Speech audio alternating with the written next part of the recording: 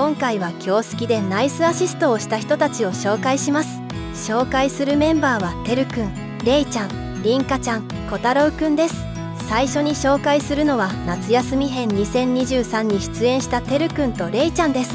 てるくんはかっこよさと可愛らしさを兼ね備えた高校1年生で夏休み編2023が放送されている時にちょうど高一ミスターコンのグランプリに輝いていた男の子です。一方レイちゃんは京好出演後にポップティーン専属モデルになるくらいとても可愛くて魅力がたっぷりの女の子です。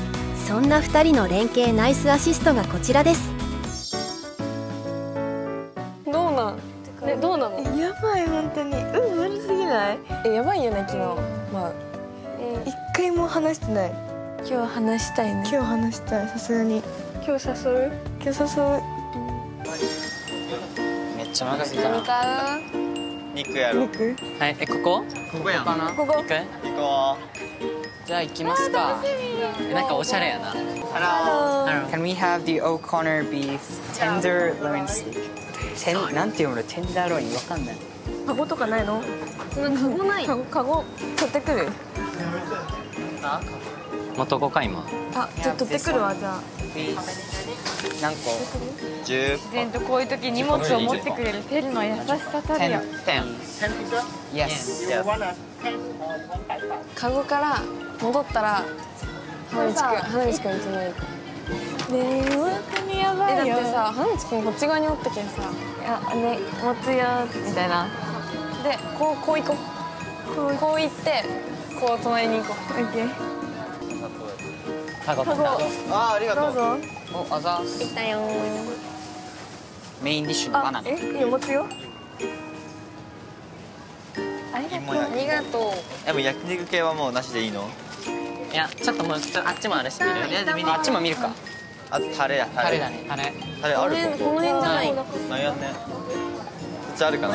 こっち見とくわ。オッケー。優しい。タレ探そうタ数日前に出会ったばかりなのにこんなにうまく連携してアシストすることができたのは2人の視野が広く気遣いができる性格であったからでしょう。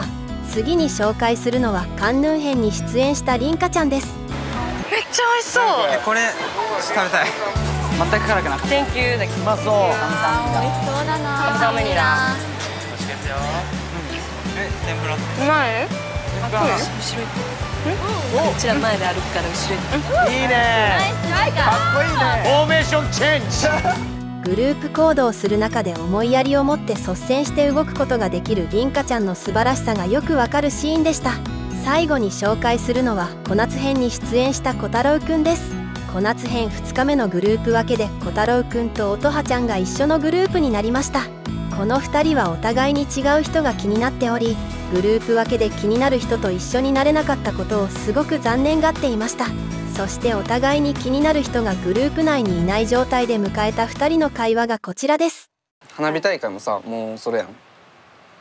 どうするん？ねえどうすればいいんだろうね。なんか、どっちにもさいいところがあるからさうん。本当に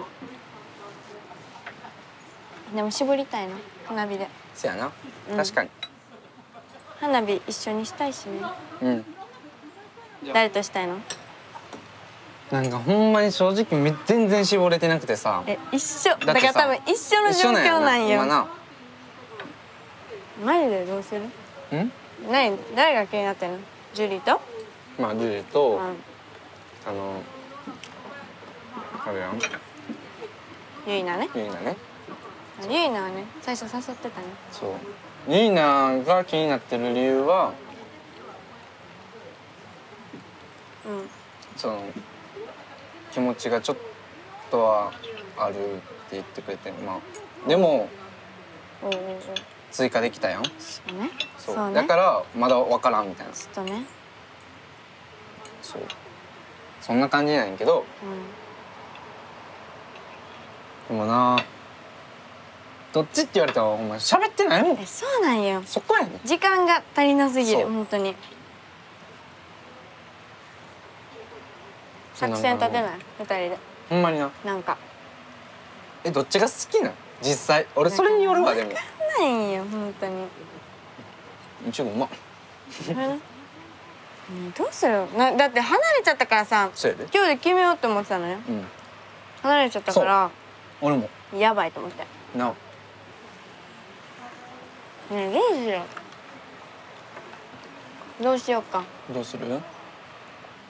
えー、なんかぜ善はうん。めっちゃな良さそうやけどなあら。俺は。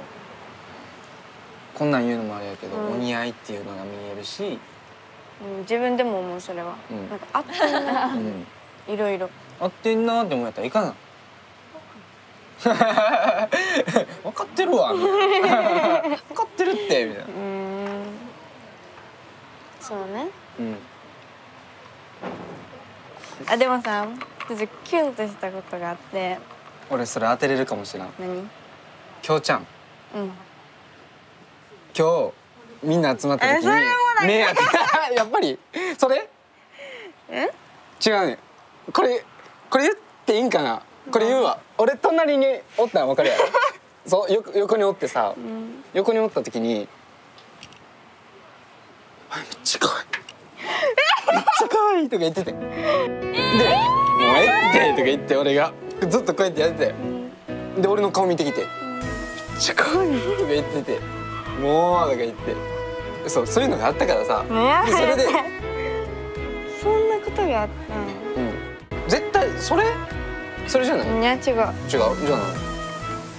そうしようと誘ってくれてさ、うん。階段を登っていったのね。でその時に、こけそうになったんよ。ちょんって感うん、ねえねえ。ちゃうんって。そんなん分からんやろ。じうん。あの手をつないで引っ張ってくれええー、全が？たうん。えー、そうマジで？うん。バリかっこいいことするやん。そんなことがあったんですよ。いやー隠れてできる男やな。なんかドキドキしてきたもん。早く会いたい。おおめっちゃええやん。そんなこと言ってるの？バカ可愛いやん。全員いや言わない。俺もびっくりしたなんかいつもの前とちゃうなって思ってたから多分その手つないだので男らしくなったかもしれない。急にそうかもね。ないいかもしれんな。い